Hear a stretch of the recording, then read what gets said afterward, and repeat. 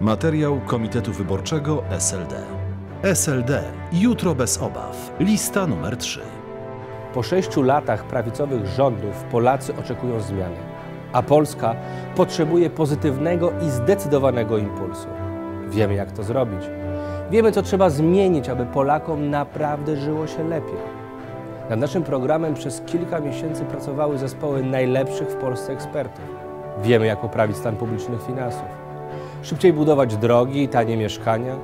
Wiemy, jak skrócić kolejki do lekarzy.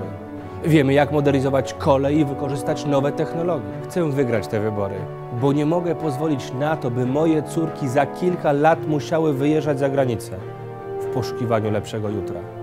Jestem gotowy pracować po kilkanaście godzin dziennie. Wiem, że na pół etatu nie da się zmodernizować kraju.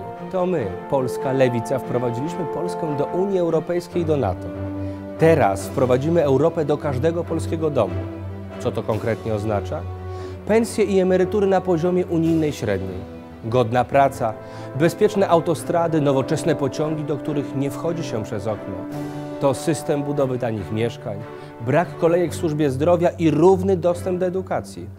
To także europejskie standardy, edukacja seksualna w szkołach, refundacja in vitro i środków antykoncepcyjnych. Wreszcie zliberalizowane prawo antyaborcyjne i ustawa o związkach partnerskich. Skończymy też demonstracyjną propagandą sukcesu.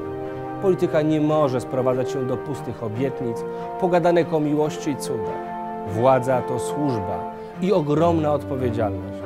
Banał? Nie. Recepta na normalność. Kilkanaście miesięcy temu Donald Tusk radził powodzianom, aby w czasie wyborów pamiętali, przepraszam za cytat, kto co spieprzył. Pora tej ekipie wystawić rachunek. SLD będzie zmieniać Polskę. Tu i teraz. Wybierzmy jutro bez obaw. Materiał Komitetu Wyborczego SLD.